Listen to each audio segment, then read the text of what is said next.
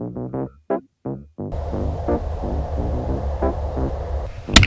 just hit maybe a 7.6 point bull elk. Tracking this animal now to make sure that it gets killed. And uh, Christina found it. She found our elk. We, wow, what a beauty. Now we got to work on, we got to work on getting this guy out of here, Christina. What do you think? Oh,